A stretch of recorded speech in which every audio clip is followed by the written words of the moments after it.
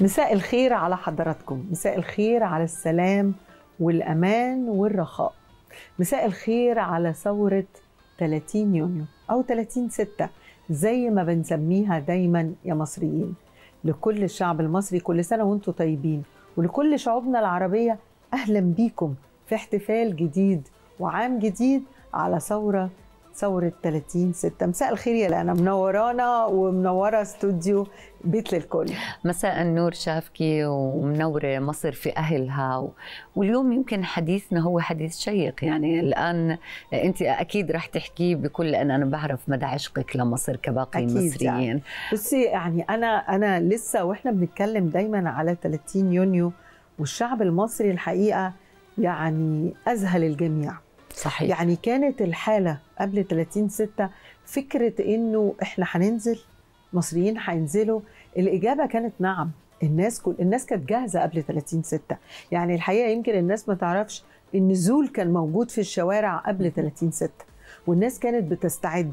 والغريب إنه ال ال الكبير والصغير وال كل الفئات وكل الأعمار وكل الناس. يعني كنت تشوفي في الشارع المصري ما تبقيش عارفين عارفة مين اللي ماشي. مصريين كلهم على يعني على على صف واحد. وكنتي تقفي ما تشوفيش من هنا لمتر قدام من طوفان الناس. الناس كانت في الشوارع حتى الستات الكبار كانوا لطاف جدا. الناس قرروا عشان مش هيقدروا يقفوا كتير في الشارع بقوا ينزلوا عفش البيوت قدام البيوت ويقعدوا.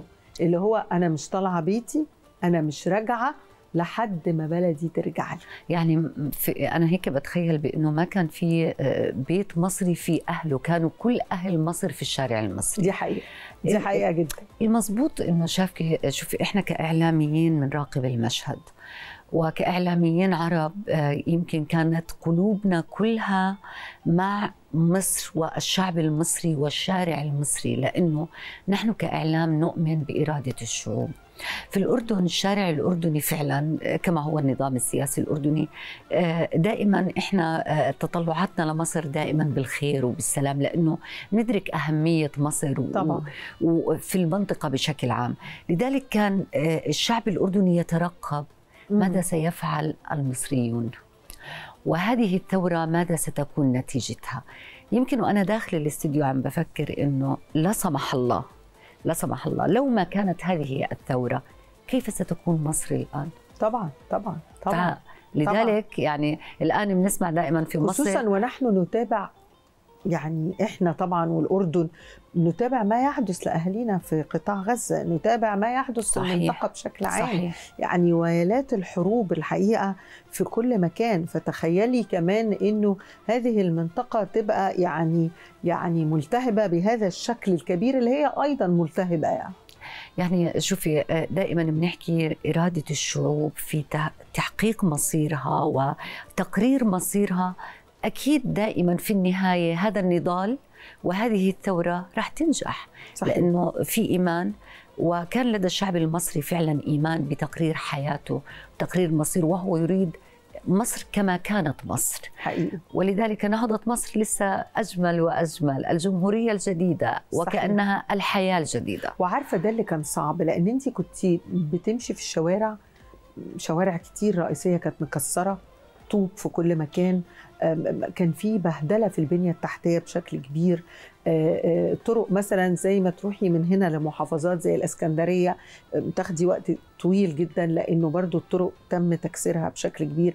فاذا كان عندك تحدي مش بس إن البلد ترجع لك وهويتك إنك كمان تبدأي تعمري من جديد تقفي على رجلك. الحقيقة كان تحدي يعني لما تبصي في عمر 11 سنة وأنا بفتكر أنا لسه فاكرة صوت الناس. يعني عارفة أنا عايزة أقول لك إنه كان عندنا حالة حالة الحقيقة كنا مرتبطين جدا بالجيش الحقيقة.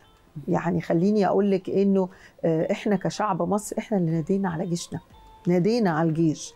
يعني كنا نمشي ونبص في عيون الضباط وهم موجودين في الشوارع اللي هو انقذونا تعالوا. يعني والجيش كان حنون جدا على شعب مصر في ظهره ومعاه. لكن أنا فاكره مثلا الطيارات لما كانت بتمشي فالناس تقف في البلكونات تنادي على الطيارات يعني. عارفة الإحساس اللي هو يعني أنا عايزة وطن يرجع. فكرة ال 11 سنة إنه يبدأ التعمير ويبدأ التعمير بالسرعة دي مشروعات وطرق وبنى و... و... وأفكار جديدة وشباب ومؤتمرات ويعني كان في حركة تعمير كبيرة وما زالت يعني أنت متابعاها بنفسك كل أكيد ما بتيجي يعني. أكيد. يعني شوفي شافكي ال- ال- ال- التطور أنا يعني وهذا رح نناقشه في حلقتنا. التطور في الحياة المصرية على كافة الصعد وكافة النواحي آه، هو تطور واضح. يعني آه، مصر في كل مرة آه، بتتغير للأفضل آه، ويمكن آخر دراسة وآخر تقرير عم- من أسبوع قرأته بإنه شبكة الطرق في مصر من أولى دول العالم اللي تطورت. وطورت شبكة الطرق عندها واضح يعني أيوة. أنا حتى لما أمشي ونكون ماشيين في الشارع بحكي برغم العدد الكبير ما شاء الله للشعب المصري كتعداد سكاني لكن ما في هالأزمة اللي إنه تشعري إنه في توقف للسير بشكل تام. وهذا جاء بنتيجة شبكة الطرق الهائلة جدا. صحيح. والمتطورة اللي بتربط كل أطراف جمهورية مصر مع بعض. أكيد. هي إرادة شعب هو الحقيقة إرادة شعب قدرت مع قيادتها يبقى فيه توحد صحيح. وترجع الهوية وترجع مصر آه، لشعبها ولمنطقتها. إن شاء خلينا الله. نروح لتقرير. خلينا نروح كده مع حضراتكم لتقرير. في هذا التقرير ونحن نحتفي ونحتفل ب 30 يونيو. نحتفي بإرادة شعب. نحتفي ببلد اسم كبير زي مصر يعود من جديد بقوة.